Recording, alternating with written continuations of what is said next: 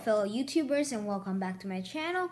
As today, I'm yes, I am looking, taking a look at uh, um one of the biggest snow in the century of in, in New York City, and today is the big snow, and basically I'm gonna be taking a look at it with you guys, and bam, here it is.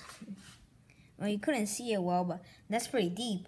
It says it's about like eight inches of snow, but it turned out to be like 10 inch or something like that. But it's like basically, it's like this. This is what you call it. You see down there? I think you can get the, I can get the camera. See there? Can you see that? You see, it's snow still snowing. It snowed the whole day, and it's uh, freezing outside. So let's.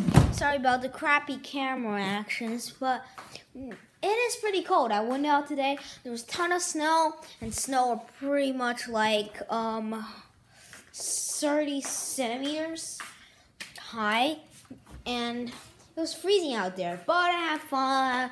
Snowball fight with my friends. I'm gonna go skiing tomorrow.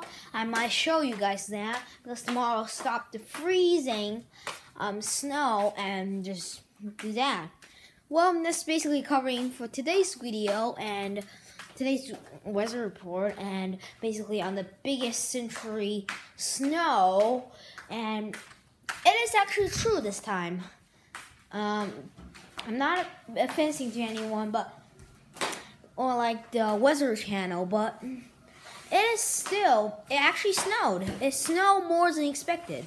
And after 2.30 p.m., you're arrested if you're still on the road. So basically, that's what it is. And I'll see you guys later today, and I'll make more videos. And thank you for watching, and please subscribe. This is Rock signing out.